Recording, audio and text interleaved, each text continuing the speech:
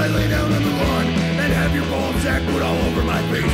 Should I go to Africa and be ejaculated on by giant raging elephant balls? How should I be rewarded?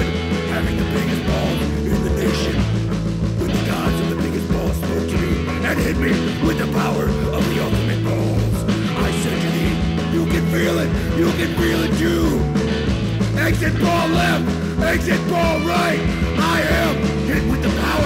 of the ultimate balls.